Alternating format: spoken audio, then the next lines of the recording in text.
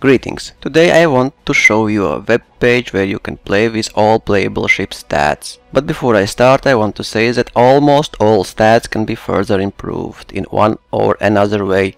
In example, if you watched my videos you know that all regarding speed, pitching, rolling, boosting, all those stats can be influenced by making your ship lighter or heavier. So depending on your mass, your ship can have higher or lower speed and it's very easy to tell how much you will gain in pitching by knowing how much you gain in top speed. If you gain 5% top speed, you will gain around same in pitching.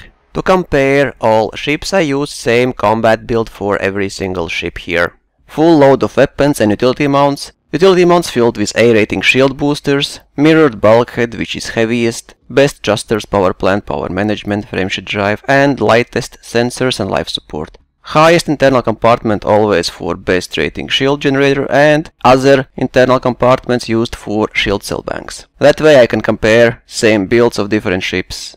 Of course you can make them faster by making lighter, but these stats is what you should have if you outfit your ships with best and heaviest modules. And let's start with stats that are most important if you are fighting. Speed, boost, pitching, shields, armor and stuff like that. Price combat fitted without any discounts.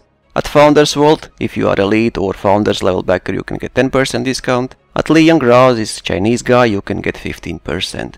To find out exactly how much money you need, go to Virtual Outfitting, I have a video about this, so Coriolis.io or edshipyard.com. You can sort them by price ascending or descending, whatever you want. Obviously cheapest is Sidewinder, you can see 0 pip speed slowest type 9 in all game. Fastest Fer-de-Lance 247 for my combat build. You can get even faster if you make it lighter. 4 pip speed fastest ship is Imperial Clipper. Again, you can make Viper Mark III faster than that. But not with mirrored armor and all best modules because it's too heavy. Fastest boost also Cobra Imperial Clipper or Imperial Eagle. 4 pip to engines pitching speed. All these tests are done with throttle in blue sweet spot, so it's best possible scenario. Eagle is fastest pitching ship in the game, followed by Vulture, Sidewinder, Cobra, Federal Assault Ship, Asp Scout, Imperial Eagle, and Clipper Hauler Fer-de-Lance. Python is here. Again, get lighter modules and your speed and pitching will be faster.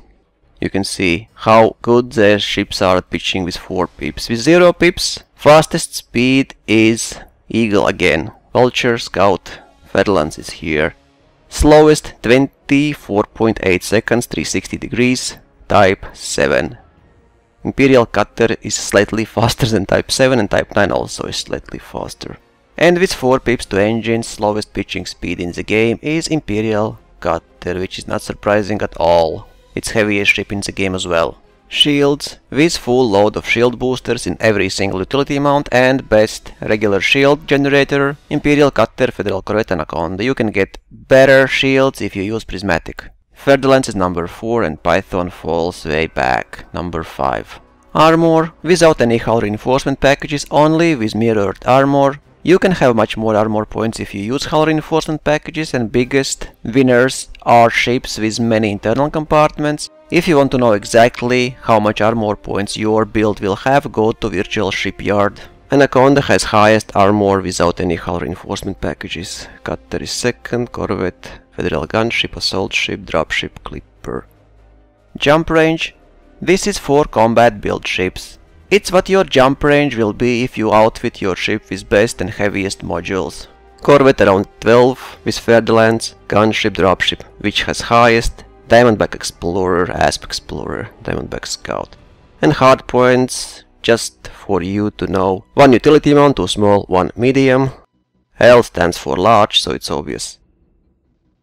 So here you can play with different stats for your combat build ships, you can tweak them greatly, but I also want to show you general stats for your ships, so you can sort and get a general idea which ship you need for which occasion. For exploration you care maximum jump range, for trading maximum cargo and stuff like that. Price trade fitted, jump laden, mass lock, hull mass, landing pads, stock price. So you can sort all ships ascending or descending and figure out which ship you actually need to buy for your fleet. Sidewinder is cheapest, Imperial Cutter is most expensive. Max Cargo is without shields. Imperial Cutter impressive 792 tons, Corvette, Corvette 616, Type 9 532. Of course you will not fly with shields off those ships. At least not in open, definitely not in open. Heavier ship in the game is Cutter, followed by Type 9, then Corvette and then all other ships are much lighter. A mass lock factor, if you don't know what that means, each ship has a mass lock factor and if two ships meet, then one ship will mass lock other. If both have same mass lock factor, then both ships will mass lock each other. Mass locked ship will charge frameshift drive into supercruise much longer than normally. Mass lock do not slow down charging frameshift drive for hyper jump. So if you are mass locked by any ship, hyper jump. If you fly Corvette and there's a cutter, cutter will mass lock Corvette. Corvette will not mass lock cutter. This is especially important if you are participating in PvP fights, you should know what ships are in same instance as you and if there are ships with higher mass locks than you, you should never even try to supercruise, select another system and hyper jump instead. Jump Laden will show you which ship is best for trading with highest jump range. Diamondback Explorer almost 30 light years but only 52 tons of cargo. Asp Explorer 25 plus minus jump range and 128 tons without shields. Diamondback Scout 24, Asp Scout 24, Anaconda for a reason is one of the best trading ships in the game. Impressive 21 light year. It's with 452 tons. With lowest class shield generator you can fit on Anaconda. Let me actually set max jump. So if you want to explore you can outfit Anaconda to be the best jumping ship in the game. Asp Explorer is second place, Diamondback Explorer, Courier, Scout. Again, these stats are not final.